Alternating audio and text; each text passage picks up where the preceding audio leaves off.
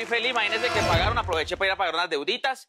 Llegué al banco, parqué y de una vez el vigilante. ¡Eh, eh, eh! Yo le dije, ¿qué pasó? Digo, hermano, que parqué donde no debe. Yo le dije, ¿cómo que no debo? Aquí es donde debo todo. Usted sabe que ya pagaron, usted sabe que, que, que, ya llegó el día del pago porque en la empresa llegan todos los compañeros y empiezan a mirarse entre ellos. ¿Qué? ¿Pagaron? Mire, la ríen, ¿no? Ay, ya. Hoy te están diciendo, ya pagaron, ya pagaron, ya pagaron. Y así empieza a mirar. Y hay uno que salva la patria y pega el grito y dice, ¡ya pagaron! Y a uno le vuelve el alma al cuerpo. ¡Ay, en serio, a lo bien! Dijo, sí, a los empleados de la alcaldía.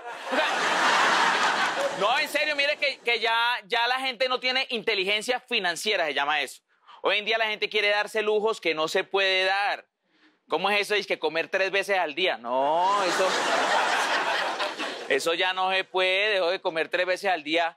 Ya no se. Eso es. Déjeselo a los ricos.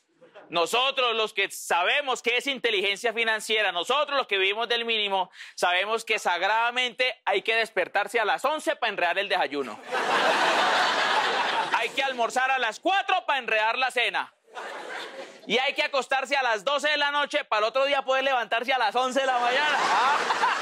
claro, la gente quiere darse lujos que no se puede dar mandan a los chinos a estudiar en colegios caros. Mire, ¿por qué no aprenden de mi mamá? Que mi mamá sí tenía inteligencia financiera. Mi mamá un solo huevito lo fritaba para todos nosotros en la casa de almuerzo. Un huevito. Y éramos 16. Servía el huevito y nos pasaba de a pedacito de pan a cada uno. Mire, Tin, una untadita. Una untadita. Ese, hacía rendir ese pan de 200. Una. Una untadita, nos decía acá, pasaban los 16. Una untadita, es que apenas voy 14, 15 y 16. Y todos haciendo fila enfrente del huevito y pasaban, tiene una untadita, mm, ya almorcé.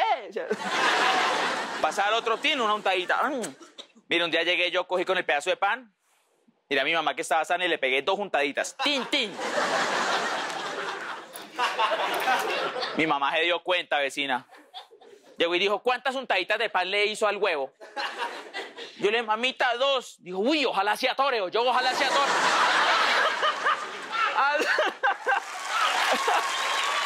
la gente, la gente hoy quiere darse lujos que no se puede dar. ¿Cómo es eso, señora, que usted quiere mandar a su hijo a estudiar? No. Eso ya no se puede ahora a colegios campestres. Y son esos berracos colegios campestres lejos y caros. Miren, lejos, entre más lejos sea el colegio, mejor para la mamá. Lejos, lejos, lejos, lejos esos berracos colegios. Mire, ¿cómo era que le dan 50 mil pesos diarios al chino? 5 mil de lonchera y 45 mil de peaje. Eso es lejos esos colegios. Hoy en día no, mire, aprendan usted a tener inteligencia financiera. Inteligencia financiera es poder usted mirar qué recursos tiene en la casa para que los pueda utilizar en otras cosas. Por ejemplo, cuando usted vaya a bañarse, que hay un jabón muy famoso que es para las malas energías, que usted ya lo tiene en la cabeza. Hay gente que lo utiliza para lavar la ropa, pero no, eso es para uno bañarse, eso es inteligencia financiera. Yo una vez me bañé con el jabón azul, así yo. Una noche de intimidad, yo. Quedé azulito, azulito, azulito. Llegué donde mi esposa, me le paré de frente y le dije, mira, bebé, quedé azulito, igualito a Avatar. Ella me miró y dijo, ay, pero parece papá pitufo. Uy, no, no.